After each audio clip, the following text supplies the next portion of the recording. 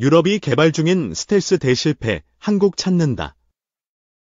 KF-21 독일 공군 협력 체결 속보. 유럽 단독 결정. 폴란드 충격받은 이유.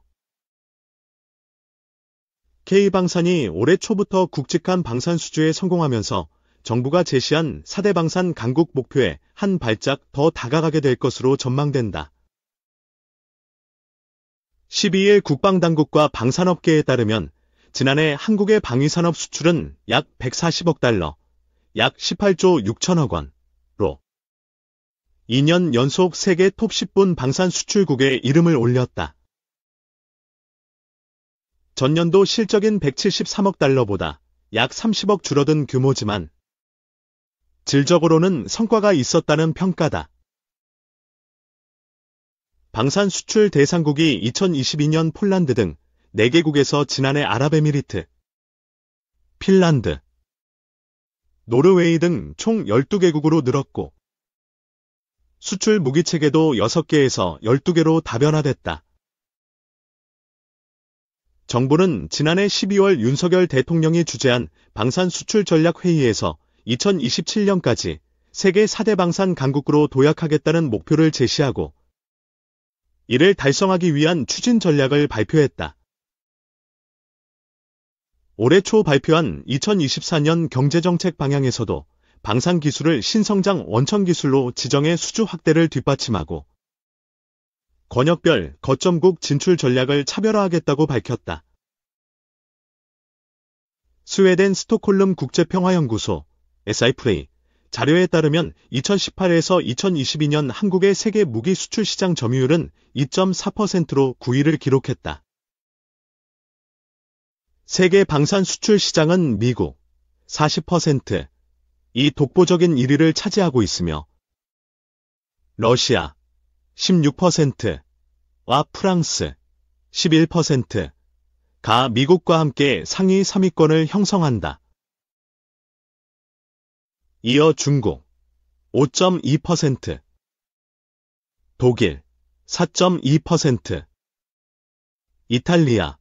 3.8%, 영국. 3.2%, 스페인. 2.6% 등의 순이다. 한국. 2.4%, 과 4에서 8위 간의 점유율 격차는 크지 않은 것으로 나타났다. 이에 따라 K방산이 세계 4위 방산 수출국 목표에 가까워졌다는 평가가 나온다. 지난 6일 리넥스원은 사우디아라비아와 32억 달러, 약 4조 2,500억 원, 규모의 한국형 탄도탄 요격미사일 체계인 천궁 수출 계약을 체결했다. 이와 더불어 하나에어로스페이스도 올해 수조원대의 추가 수주를 기대하고 있다. 하나에어로스페이스는 현재 루마니아의 K-9 자주포를 수출하는 협상을 진행하고 폴란드에는 다연장 로켓 천무에 대한 2차 실행 계약 체결을 추진하고 있다. 인도와는 자주포 추가 도입 사업 협상에 나섰고 루마니아, 폴란드 등과는 지난해 호주 수출에 성공한 차세대 보병저 투장갑자 레드백의 수출을 논의하고 있다. 아울러 다양한 중동 국가와도 무기체계 계약을 논의하는 것으로 알려져 오란 해 굵직한 수주 소식이 잇따라 들려올 것으로 업계는 보고 있다. 한국형 초음속 전투기 KF-21과 경공격기 F-50 등을 생산하는 한국항공우주산업은 지난해 3조 8천억 원대의 역대 최대 매출을 올린 데 이어 올해도 중동 유럽 국가를 중심으로 대규모 수주를 기대하고 있다. 서울서 개성 시내 북한군도 엿본다. 국산 첨단 무인기. 어떻게 만들었나 박수찬 해군. 한국군의 감시정 찰 능력을 대폭 높일 국산 중고도 무인 정찰기 양산이 올해부터 본격화된다. 2028년까지 진행될 웨이브의 생산이 예정대로 이뤄지면 서울 도심에서 100km 떨어진 개성 일대의 북한군 움직임도 정찰할 수 있는 감시 자산을 국내 기술로 확보하게 된다. 이를 통해 독자적인 대북 전략 감시 능력을 확보하면서 미래 무인기 전력을 구축하기 위한 기술적 기반도 닦을 수 있게 됐다는 평가다. 이 같은 고성능 무인기를 개발하기까지는 험난한 과정을 거쳐야 했다.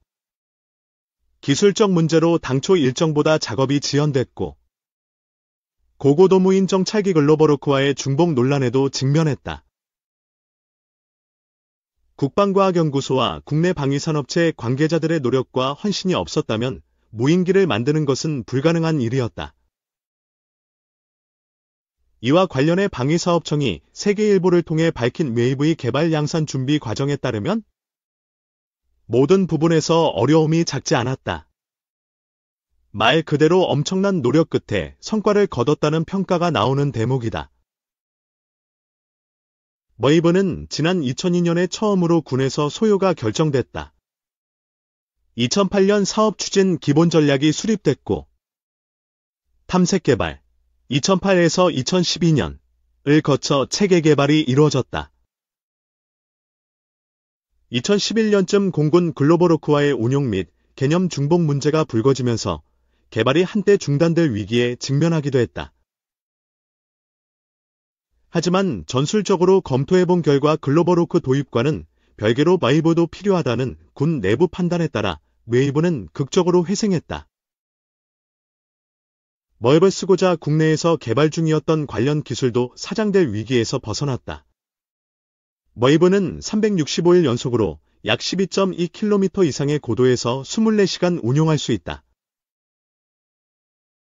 주 야간 고해상도의 표적 영상을 실시간으로 지상 통제 장비에 보내고 판독 분석 및 전투 피해 평가도 가능하다.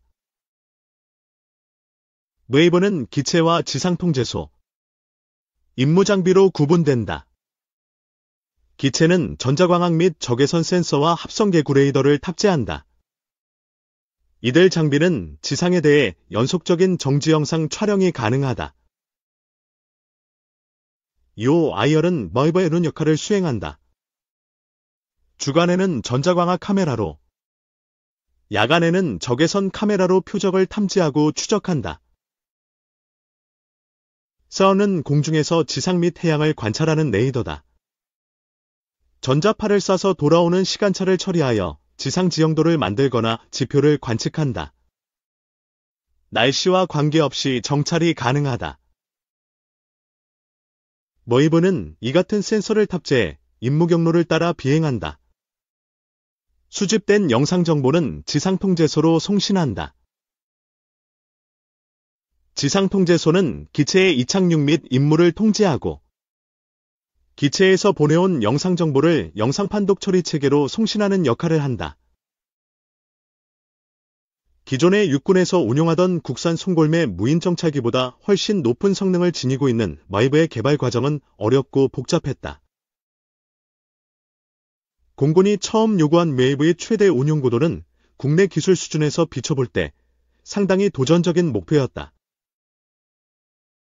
애드 기술자들은 공군의 요구도를 충족하기 위해 13년에 이르는 탐색 체계 개발 단계 동안 주말과 휴일도 반납하며 개발을 진행했다. 하지만 비행시험 도중 상승 성능이 다소 떨어지는 현상을 발견했다. 원인 분석 결과 예상치 못했던 요소에 의해 양력이 감소할 가능성이 의심됐다.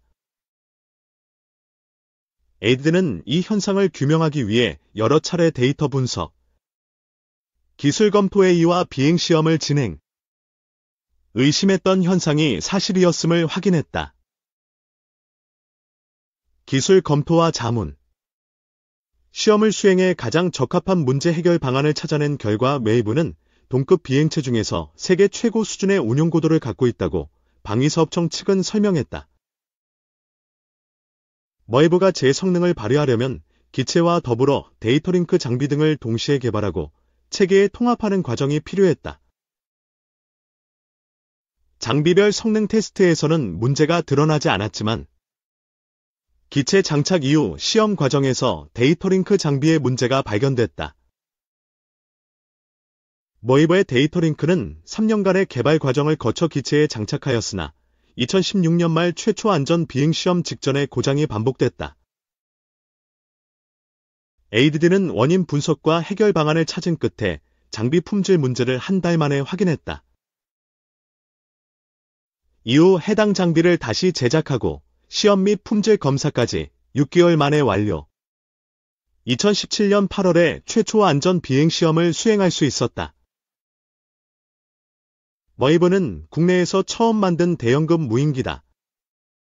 비행 시험을 하려면 공군의 표준 알주로 2.7km 가 필요했다. 이에 따라 에드는 공군 서산 비행단에서 시험을 수행하기로 했다. 하지만 평일에는 공군 전투기 작전에 영향을 줄 수 있어 활주로를 주말에만 사용해야 했다. 연구원들은 개발 사업 초반 6개월의 비행시험 기간에 주말 여가를 반납하고 현장에서 시험을 수행할 수밖에 없었다.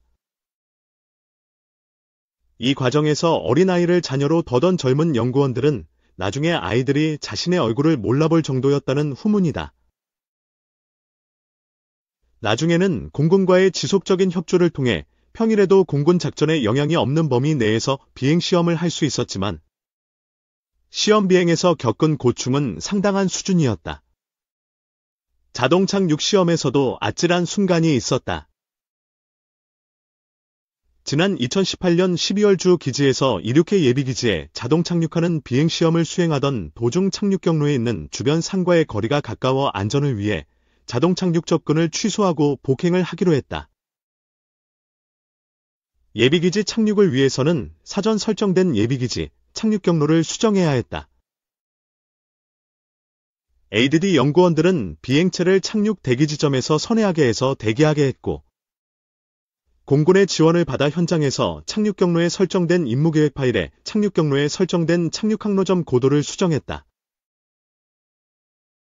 이를 통해 수정된 임무 계획 파일을 비행체에 다시 입력한 끝에 착륙 승인을 받았다. 이후 정상적으로 자동 착륙 비행 시험을 완료했다.